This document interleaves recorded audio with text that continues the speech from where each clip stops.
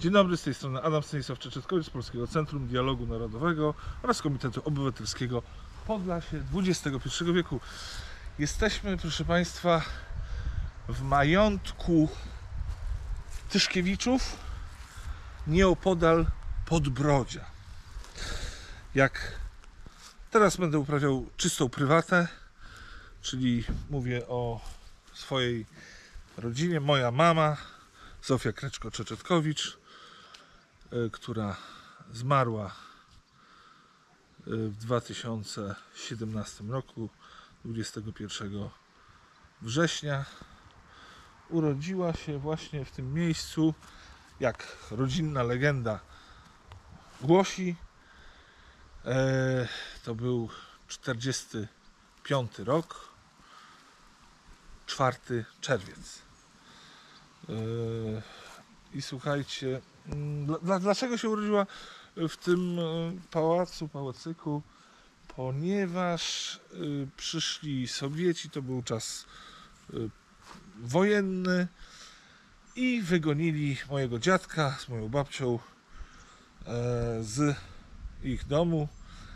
Ogólnie rzecz biorąc, były to czasy niepewne, e, bo już tam dziadek był zamknięty na Syberię miał jechać, ale go tam jakoś babcia za dwie butelki wódki wykupiła i y, za tak zwanymi znajomościami y, nie wiem skąd się znali z Tyszkiewiczami, y, ale znali się znali się i po prostu y, rodzina Tyszkiewiczów tutaj y, dała schronienie dla y, mojego dziadka z moją babcią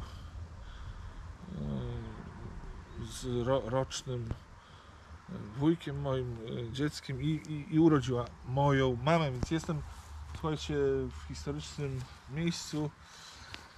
Nawet nie wiem czy mama tu była kiedyś, może była, może nie była, ale była tylko jak, jak się rodziła, tak, że tak legenda głosi, że y, za sprawą znajomości z Tyszkiewiczami e, urodziła się właśnie tu.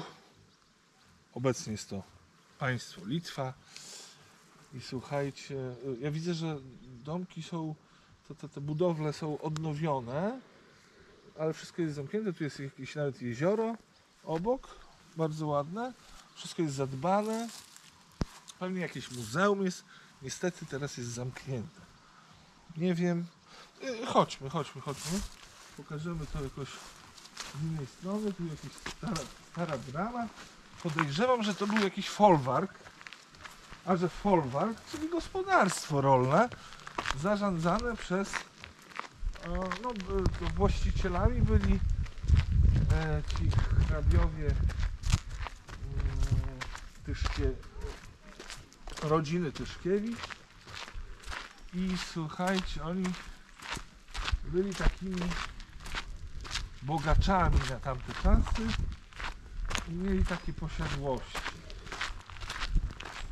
Eee, a to jest jedna z tych posiadłości, bo posiadłości mieli pewnie bardzo dużo, nie tylko na Litwie, ale i w całej, w całej Polsce są pozostałości po ich posiadłościach. To jest jedna z nich, w Podbrodziu, pod Wilnem tam nazwijmy to nie, nieopodal Wilna yy, najpiękniejszego z polskich miast. Gdzie piosenki są. I tu możemy zobaczyć jak ten dworek wygląda z przodu. No jest odnowiony. Ro, robi wrażenie. Taki typowy w stylu w stylu, w stylu, nie wiem, rzymskim, te, te, te kolumny i tak dalej.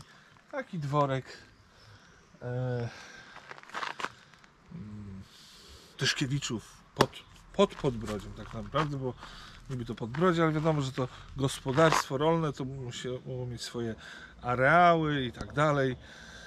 E, podejrzewam, że oni zrobili tu kołchoz po, po, po tym po 45 roku, bo tu są jakieś zabudowy, ludzie mieszkają w blokach. E, Czyli to było gospodarstwo rolne z jakimś takim ładniej, ładniejszym domkiem.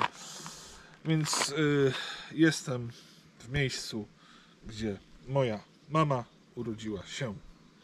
Miała w, w tym napisane miejsce y, pod brodzie, wpisane w dowodzie ZSRR, bo to już, już, już tam zmieniły się te, te rzeczy. Jeszcze granice nie były do końca ustalone, ale tak właśnie było. Żywa historia. E, Pozdrawiam całą Polskę, szczególnie mojego brata, e, który tu nigdy nie był, ale mam nadzieję, że kiedyś tutaj podjedziemy. I tyle. Sława Wielkiej Polsce. Pozdrawiam. Cześć.